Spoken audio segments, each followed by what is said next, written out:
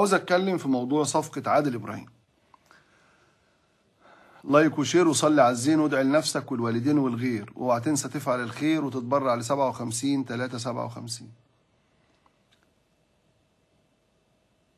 عاوز أتكلم في موضوع عادل إبراهيم.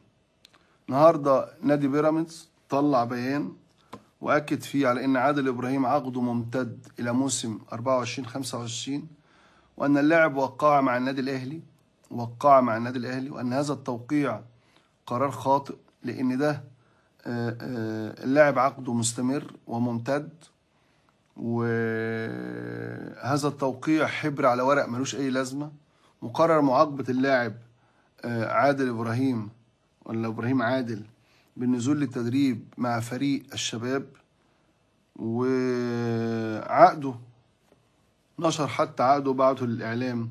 مستمر الموسم 24 25 عقد التكميلي اللاعب خدع أمير توفيق وقال له إن أنا آه، عقدي بيخلص بنهاية الموسم الجاري وإن أنا لاعب حر ويحق لي الانضمام إلى النادي الأهلي والتوقيع لأي فريق. اللاعب موهبة كبيرة جدا آه، آه، وإمكانياته الفنية عالية جدا ومكسب كبير جدا للنادي الأهلي أو غيره. لكن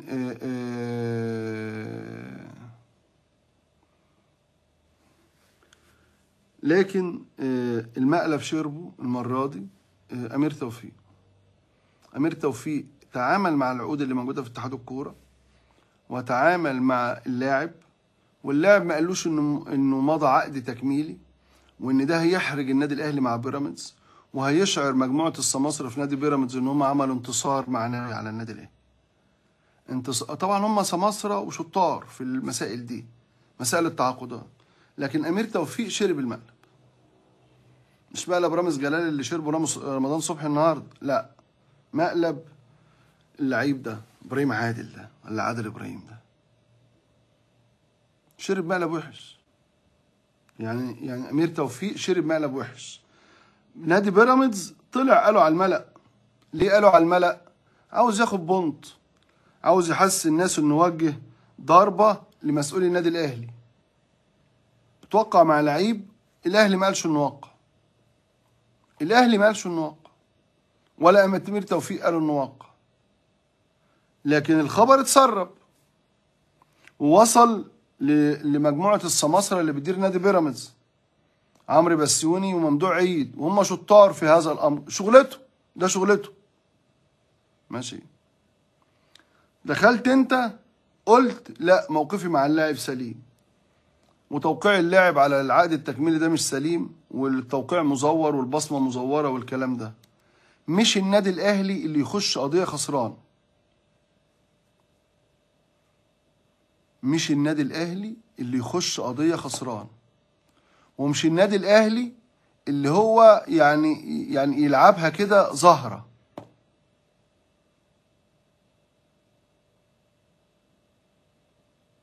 شكلها وحش.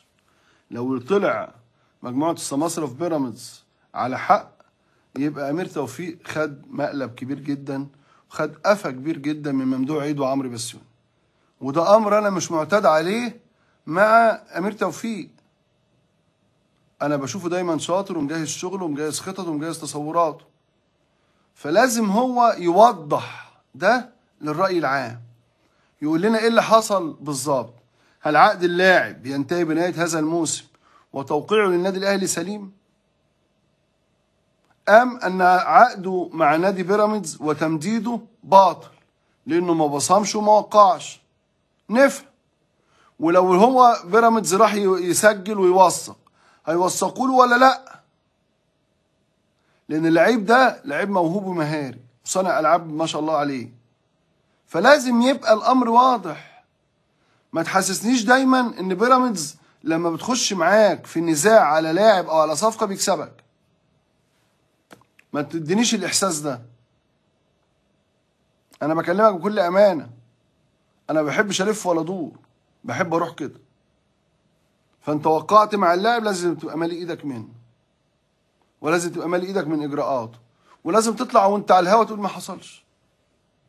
وتتبرأ كده من الموضوع. وتخلي الخناقة بين اللاعب وبين ناديه لكن هو اللي بيراميدز اللي يعلن إنه وقع معاك وإن عاقبه بالنزول لتدريب لفريق الشباب وإن العقد اللي معاك تبله وتشرب ميته ده مقلب كبير لك وقفا كبير لك من بيراميدز. أنا ما أتمناش إن يبقى كلامهم صح لازم تأيد لنا لأن جمهورك يزعل منك وأنا أزعل منك يا أمير.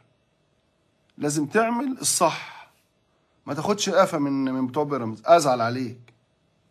دول شوية عيال مصر.